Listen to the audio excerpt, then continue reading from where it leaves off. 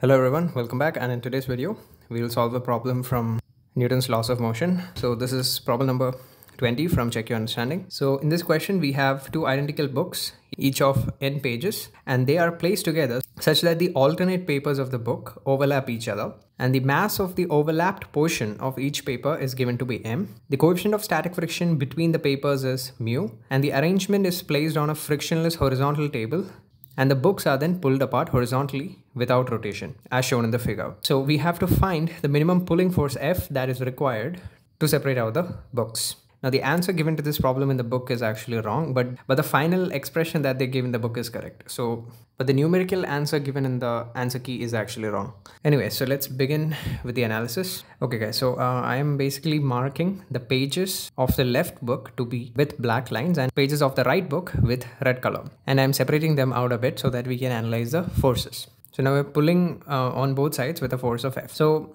now the thing is in the question they asked us a minimum force with which we have to pull so that we can separate them. So clearly in the minimum case, the friction between between the pages in all the surfaces will be limiting friction. So, so the minimum force should be just enough so as to overcome the limiting friction. So basically we can uh, write down the friction between any two surfaces as mu times the normal reaction on that particular surface okay so let's let's say this is page number one this is page number two and so on and so forth and this will be obviously page number 400 right so if i consider let's say this particular page over here there will be friction between these two surfaces and these two surfaces so if i just draw the fbd of this one page over here so we have to consider the force of friction on the upper surface and also the force of friction on the lower surface. And we have to do so for each of the pages. And uh, finally, we'll just add all of them and equate it to F and that will give us the answer. So let's say the friction on the upper surface, let's name it as mu times N1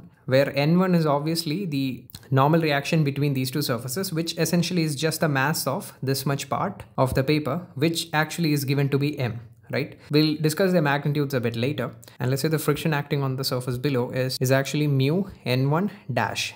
Okay, and I am using the dash notation because um, as this is page number one, right? I just want to denote the frictions on it using the subscript 1. And similarly, let's just say the friction force acting on the upper surface of page 2 is mu n2 and similarly on the bottom bottom surface mu n2 dash and you guys get the idea. Now on the 400 page of the red book, there will be only one component of friction and that will be acting on the upper surface and the magnitude of that is going to be mu times n subscript 400 and uh, why is it 400 because on the upper surface of page number 1 the friction force is mu n1 so on upper surface of page 400 it will be mu times n 400 okay. Okay so now from here f would simply be equal to the summation of all these forces which would be mu times n1 plus n1 dash plus n2 plus n2 dash and so on and so forth until n subscript 400 now n1 is going to be the weight of the pages above the surface which is nothing but mg so n1 is going to be mg now similarly n1 dash is going to be the weight of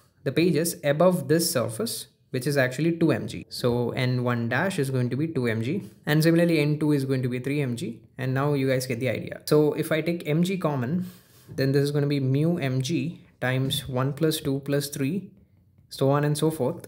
Okay guys so now here you have to be careful. Now the value of n400 is if you observe n1 N2, N3, N5 are an AP, forms an AP with common difference 2, right? So N1 corresponds to 1, N2 corresponds to 3. So they form an AP of odd numbers, right? So basically n n is going to be 2n minus 1. So if you put n equal to 400 here, uh, you'll get n400 as 799. So this will be n400 is going to be 799. So now this is sigma n running from 1 to 799 is n times n plus 1 divided by 2.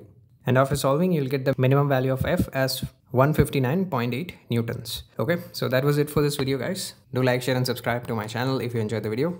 And that's it. Thanks for watching.